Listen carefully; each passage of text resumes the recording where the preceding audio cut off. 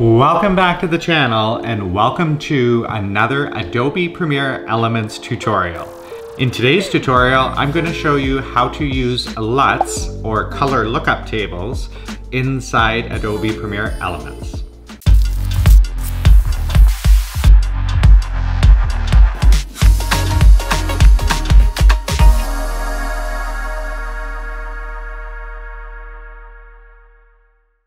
So if you're new to the channel and you like these types of videos, make sure you head down below and hit that subscribe button. So in today's video, I'm going to show you how to use LUTs with Adobe Premiere Elements. So oftentimes when you're filming video, you'll use a neutral color space so that you can adjust that color later. Sometimes you may have actually made a mistake in your exposure settings or you want to adjust some more contrast or get some more color out of your video. And this is a simple and easy way to do it using the Logarist program. So the first step we want to do is head onto the internet and download the Logarist program onto our computer. And then we're going to open up Adobe Premiere Elements and I'm going to show you how to use it.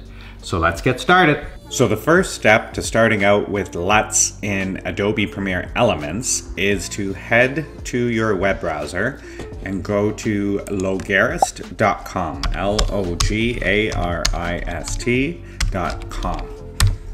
Once you're on their website, you'll see on the left-hand side here that you have all of the instructions for the different types of software that you may want to use. So we're using Premiere Elements. So as you can see here, it actually gives you full instructions of what you need to do.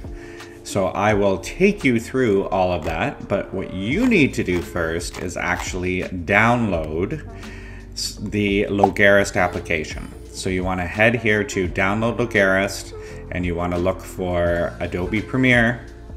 It's going to download it. It's a 75.6 megabyte file, it says here.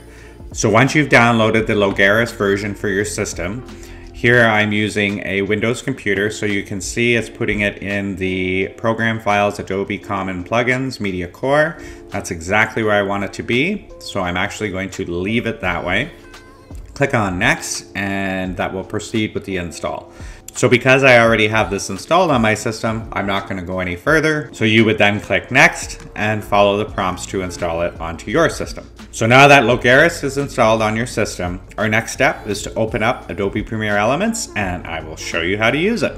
So now that you have the Logarist color editor on your system, you are now ready to start using LUTs on your videos.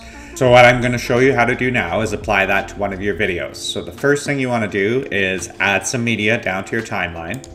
So I've chosen some DJI, some drone shots that I have uh, for the specific reason that the exposure and the contrast is way off.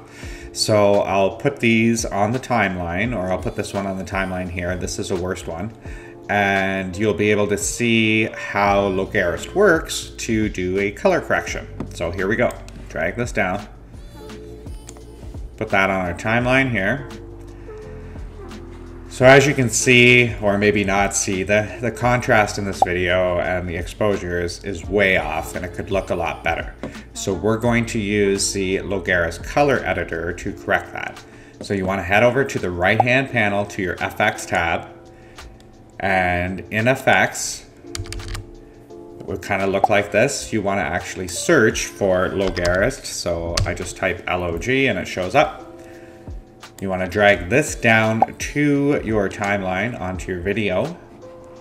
And then once that's on top of your video, you want to go to the setup button here and you want to put your input LUT. So we're going to click on open and we were using a DJI so we're going to use this as our input.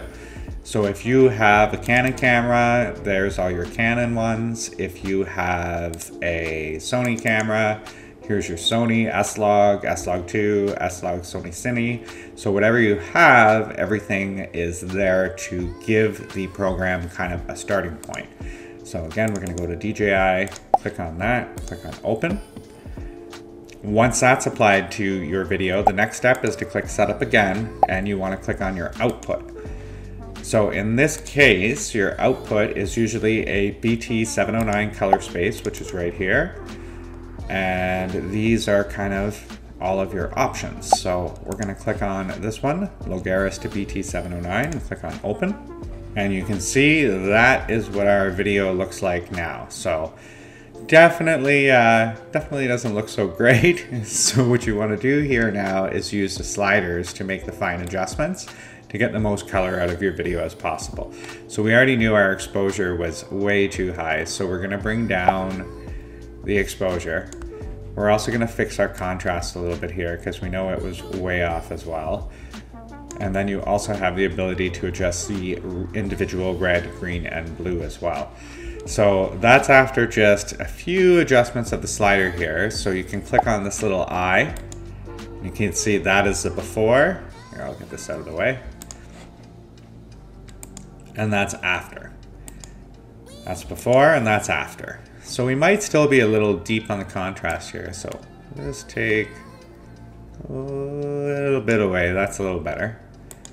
So there you go. There's before, after, and maybe even take a little of the exposure away.